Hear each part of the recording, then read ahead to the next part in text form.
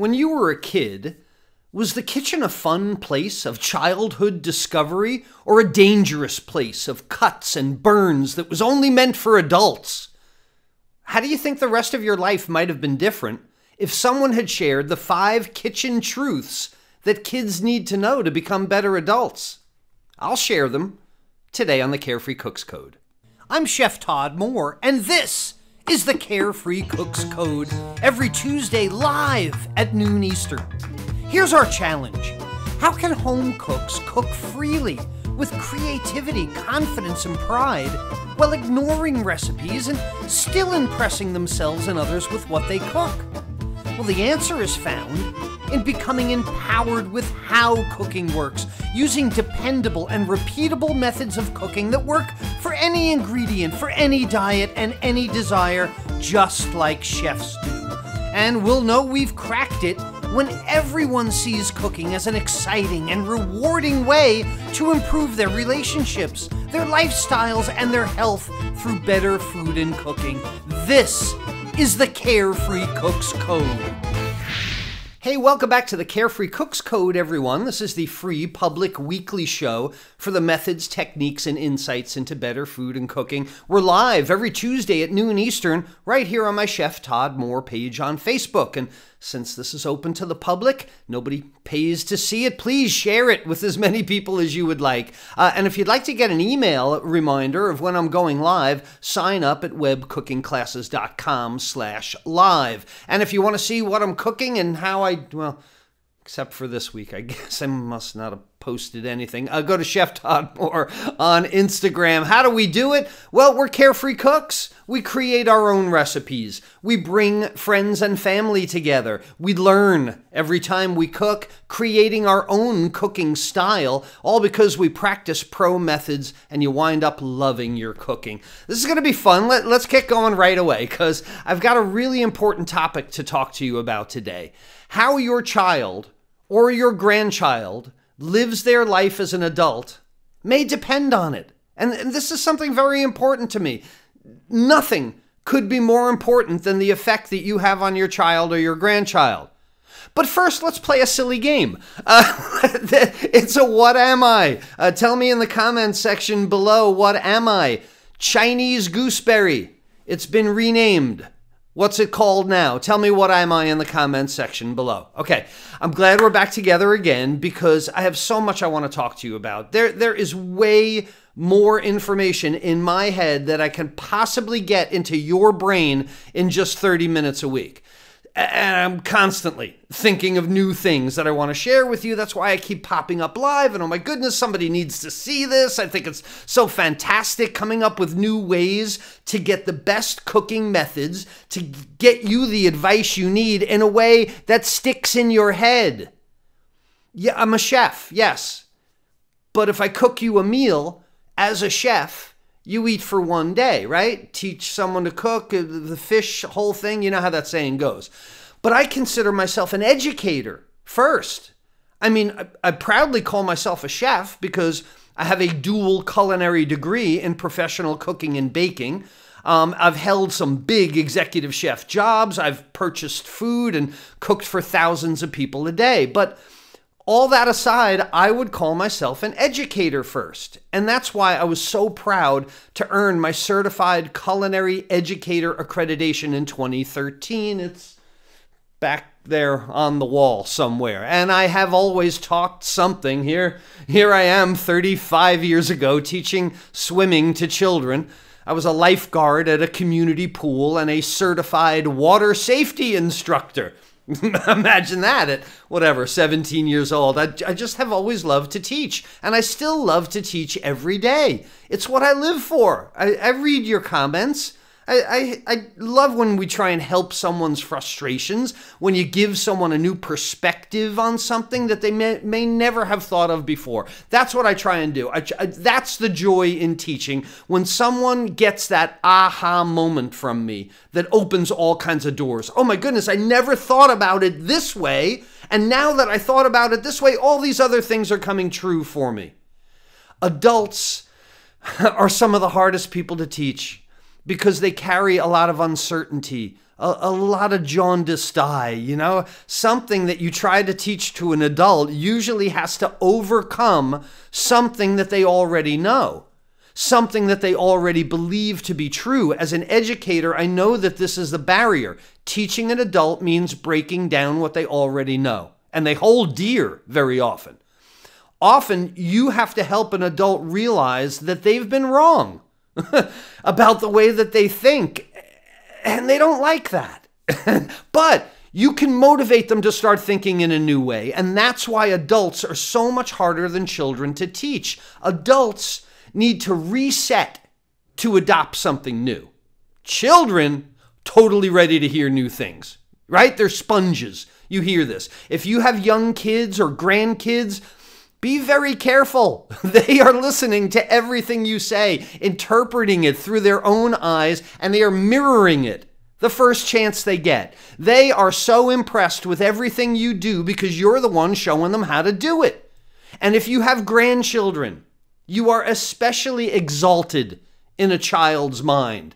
You're so much wiser, older, kinder, than their mother. No, that, well, you're the mother or father of their mother or father, which is a little baffling to kids at first. Plus, generally you give them cool stuff and you don't discipline them that much, right?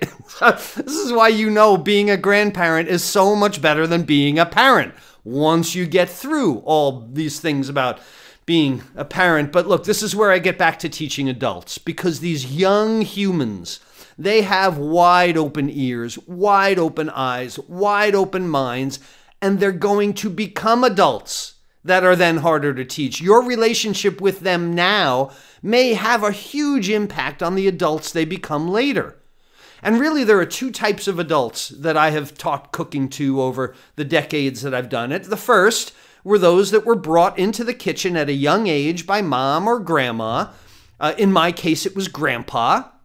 Milton Mohr there was, and that's me at five years old, I think. Milton Mohr was the cook in the family, and when I was a kid, it baffled me that my grandfather, a male, was doing all the cooking, right? So I, this is the 1960s. I, at five years old, had these chauvinistic ideas. I don't know if that was true, but I did know that the mom is supposed to do the cooking. And if you knew my grandmother, Ivy, a very proper English woman from Wimbledon, Ivy Mansfield, you'd know Ivy doesn't bother with things like that. These people are curious, right? They want to explore in the kitchen. They want to have more confidence. They are free, free and without fear. As an educator, that's the person I would want to teach. Someone who wants to explore, has confidence, free, no fear, likes to try new things. The children are so much easier to teach because they're willing to give up what they already think they know for something new and different. The opposite of adults. But this can be scary. And that's what defines the second type of adult I teach. These are the children who were told that the kitchen is a dangerous place that you're always in the way, that you can cut yourself, you can burn yourself. It's just no place for children. So, this child that grew up to be an adult versus the first type of child that grew up to be an adult, who do you think the starting perspective, uh, the, who has the better starting perspective on cooking? The second type of person, no, don't touch. Oh, you're going to burn yourself. Oh, you're in the way. They have no confidence, right? They're incredibly serious about their cooking when I meet these adults because a possible disaster lies at every corner. These are the people that try to measure everything precisely. These are the people that cook for three to five minutes because the recipe tells them to. They're tight, they're protective, they're on the defense in the kitchen. They're really hard to teach. Their parents have messed it up for me. it's an even harder wall to get through. Now, not impossible, but much harder than the adult whose mind was opened at a much younger age by grandma, grandpa, or grandpa Milton. But there's a third adult that I'm encountering lately. And this third type of person has none of the characteristics of the previous two. They weren't welcomed into the kitchen by grandma, nor were they shooed away by mom. They never went in the kitchen at all. And neither did their mom. There is a cooking dead end that happened somewhere around the mid 70s, as far as I can figure. Passing on respect for food and cooking came to a complete halt. Now, if you were a child in the mid 70s, like I was, your mom probably cooked dinner just about every night of the week. In your home, the kitchen was the center of activity. This home where there was one telephone bolted to the wall with that long, tangled cord handset strangling those, clotheslining everyone that walked past it, the rotary dial phone was the conduit to the outside world, but not the only type of communication going on in your kitchen your mother or your grandmother was communicating knowledge that it was timely, right? Communicating more knowledge than the phone ever would. And you, as a child, witnessed all of this occurring before you. There was fresh food at the grocery store. There was meat from the town butcher. Did you have it? I had a town butcher. Yeah. Sawdust on the floor. And even ingredients from your own backyard garden then. You knew what food was because it passed before your eyes every day, every night. Right before you cooked, you knew where that food came from. That one room in your home, the nice olive green kitchen in your home, generated the excitement of dinner time together of family gatherings, of visitors in the neighborhood or from across the country, the holiday meals, the smells of the food cooking. I'm sure you can remember it to this day. You can remember your childhood kitchen.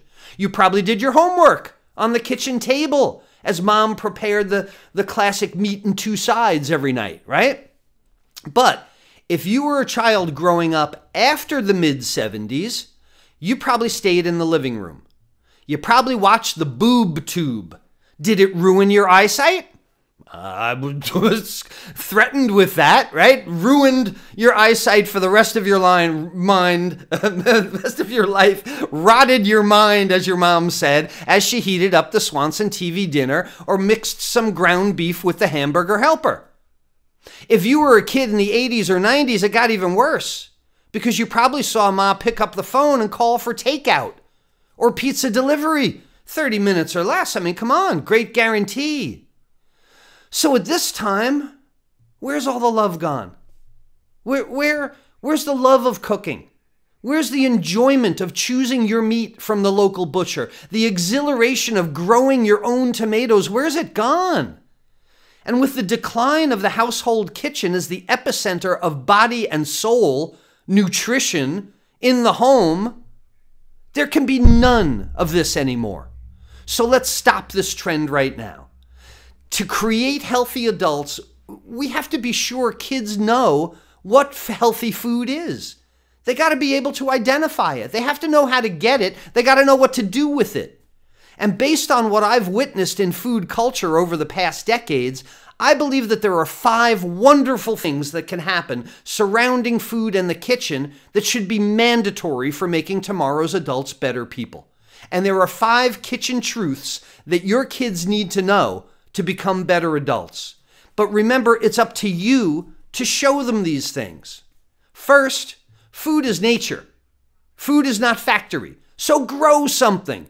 A child of any age can be so shown how seeds turn into plants, and it's thrilling for them to watch something grow. It teaches so many lessons. You don't need a backyard garden like grandma had. Even if you live in the city, a few flower pots with herbs are exciting when you can use them together in a meal. Number two, share the truth. Share the truth about where, where food comes from, including meat be sure they know that the Megamart grocery stores aren't the only people that sell food. Take your child or your grandchild to a farmer's market. Take them to a roadside stand. Introduce them to a cow and explain what happens to a cow or a chicken. Show them that there are people whose lives are dedicated to providing food to the community beyond a faceless corporation or a huge mega grocery store. Beef comes from cows. Pork comes from pigs. Chicken comes from chickens. It's just a fact. Our main sources of protein don't start at the grocery store, and many children think they do. Now, again, the object is not to inflict any political agenda on your young child. Don't terrify the child with too much of this information, okay? No slaughterhouse videos. We, we don't need that. You'll be making a vegetarian. Only you can decide if the time is right to tell them about cows and chickens. But make them aware that food is a natural item that doesn't come from a factory. There are benefits and consequences to the way we raise and eat food. Let your kids know both sides when they're at the right age, when you think you can have that conversation with them. Number three, cheap food and fast food is not more exciting. Going to McDonald's should not be a special night out. Don't make fast food out to be more than what it is. It's cheap and convenient. Be sure you help them start to identify good quality food versus good quality marketing. You can take your child to the drive through, but make it apparent that this is not the best way to eat. Time in the kitchen together is much higher quality than time in the drive through line. Number four, teach them that kindness comes from the kitchen. Prepare meals, do some baking for someone in need with your children. Bring them to with the children, with the baked good to the person in need. Contribute to the community bake sale with something that you bake together. Volunteer at a local food charity. Show them another perspective on people that do and don't have food. Because you can demonstrate that food is love, food is caring, cooking is kindness. That, that's an impactful lesson on a future adult.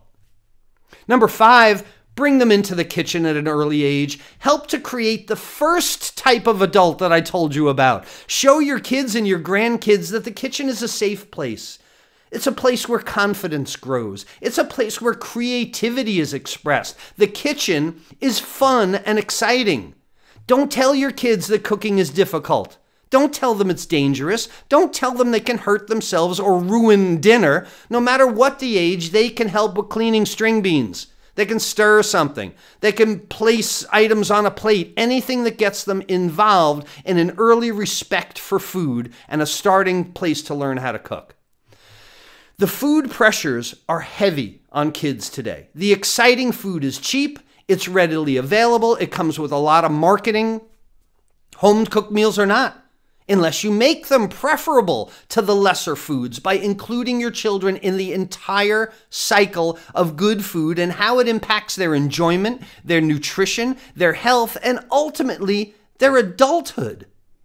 Create an adult palate early in life. Share all the things that should be occurring in and around the kitchen. It could be the heart of the home where children become great adults by respecting food and learning basic cooking skills. So when you do bring your children or grandchildren into the kitchen, cooking teaches them dozens of things. Cooking teaches organization, a place for everything and everything in its place.